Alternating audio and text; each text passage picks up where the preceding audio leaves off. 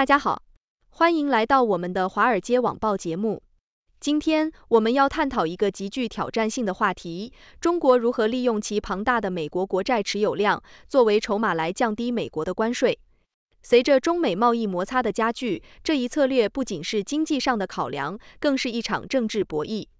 中国目前持有高达七千七百四十六亿美元的美国国债，这不仅赋予了其在美国经济政策中的影响力，也为其与特朗普政府的谈判提供了有力的工具。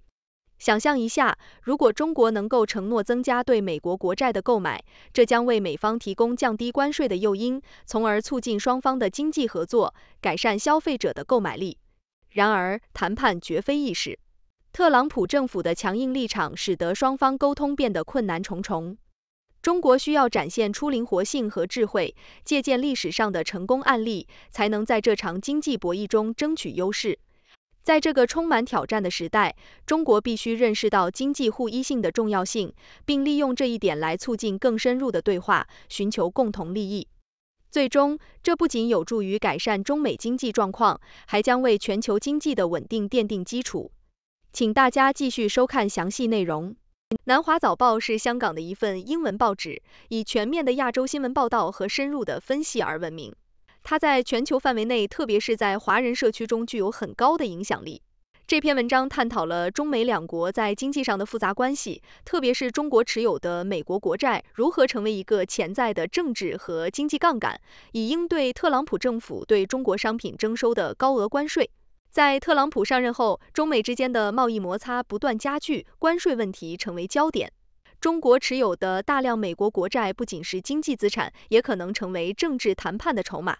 文章指出，中国目前持有约七千七百四十六亿美元的美国国债，这一数值曾在过去达到超过一万亿美元的峰值。这意味着中国在美国经济政策中具备一定影响力的潜力。如果中国承诺逐步增加对美债的购买，可能会给特朗普政府提供一个降低关税的诱因，这样对双方都有利，因为降低关税能够提高美国消费者的购买力，并促进经济稳定。特朗普曾在竞选期间多次强调，高关税会削弱消费者的购买力，并可能导致社会不满。中国出口的大量廉价商品能够满足美国市场需求。如果美国消费者能够以更低的价格购买这些商品，他们的生活质量会因此改善，经济压力减轻，社会矛盾也会随之减少。中美两国的关系和谐，不仅对两国有利，对全球经济也有积极影响。当两个经济体和平共处、互惠互利时，其他国家也会从中受益。这种合作关系能够为全球经济带来稳定，并促进各国间的贸易往来。然而，这种谈判并不简单。特朗普政府的强硬立场让双方的沟通更加困难。中国需要在谈判中展现出灵活性和智慧，才能在这场经济博弈中占得上风。中国可以从历史中借鉴一些成功的谈判策略，比如冷战期间美国和苏联之间的核武器谈判。双方当时都在一定程度上做出让步，最终达成了和平协议。这说明，即便是在对立的情况下，谈判双方还是可以通过妥协和策略达成共识。在当前充满挑战的国际环境中，中国必须清楚认识到经济的互依性是无可避免的。正如历史学家尼尔·弗格森所言，中美之间的经济相互依赖曾被视为天作之合。虽然现在两国在一些问题上存在分歧，然而这种依赖关系依然存在。中国应利用这一点，与美国进行更深入的对话，寻找共同的利益。中国持有的美国国债不仅仅是一个数字，它代表着中国在全球经济中的地位和影响力。通过精明的谈判，中国可以利用这一资源，促进中美合作，降低关税，最终实现双赢。这不仅有助于改善两国的经济状况，还将为全球经济的稳定与繁荣奠定牢固基础。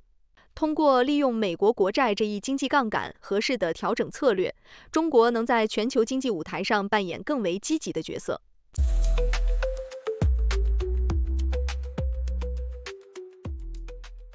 请大家继续收看节目的六度百科，对关键内容进行背景介绍。美国国债是由美国联邦政府发行的债务工具，用于为其财政赤字提供资金。这些债务由美国财政部管理，通常通过拍卖的方式出售给个人、企业以及国际投资者。美国国债被视为全球金融市场中最安全的投资之一，因为它们有美国政府的信用背书。美国国债包括多种类型的证券，如国库券 （T-bills）、国库票据 （T-notes）、国库债券 （T-bonds） 以及通膨保护型国库证券 （TIPS）。国库券是短期债务，通常期限在一年内。国库票据期限从两年到十年不等，而国库债券则是更长期的投资，期限可达三十年。通膨保护型国库证券是以通胀指数调整的债务工具，旨在保护投资者免受通胀影响。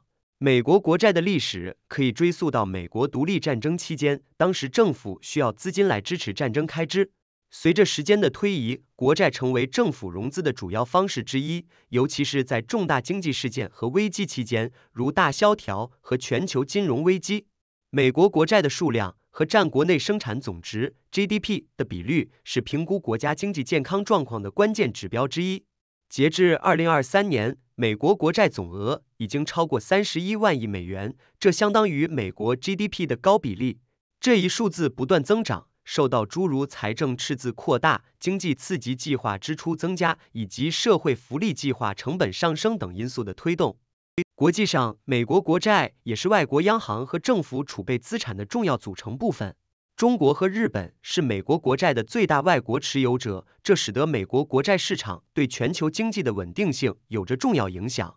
投资者对美国国债的需求通常会受到多种因素影响，包括全球经济趋势、货币政策变化以及其他金融市场的整体表现。由于其高安全性和流动性，美国国债在投资组合中被广泛用作风险对冲工具。利率变化对美国国债的价格和收益率有直接影响。当利率上升时，现有债券的价格通常会下降，因为新发行的债券将以更高的利率提供。但利率下降则会导致债券价格上升，美联储的货币政策因此成为影响美国国债市场的一个重要因素。美国国债市场的动向对其他资产类别和国际金融市场具有深远影响。由于美国国债的基准地位，其收益率被广泛用于评估其他金融工具的定价和风险。总之，美国国债在全球金融体系中扮演着关键角色，其安全性、高流动性以及作为风险对冲的功能，使其成为政府、机构投资者以及个人投资者的首选。随着全球经济环境的变化，对美国国债需求的动态将继续影响世界经济的走向。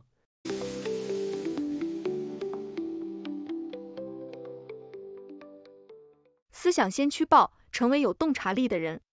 华尔街电视特别节目，纽约时间每天早上八点，李奇博士主持。和平评点，谢谢大家收看六度探索。这是一个由科学家、经济学家、媒体人、工程技术人员合作建立的新型媒体。网友与六度 AI 参与合作完成各种内容，这些内容不能作为任何决策或法律的意见。这是一个新型的试验性媒体方式，我们希望得到大家的支持，修正错误。网友可以参与讨论，也可以向万能的六博士提出你能想出的任何问题。六度世界网址是六度 World，请介绍给你的亲朋好友。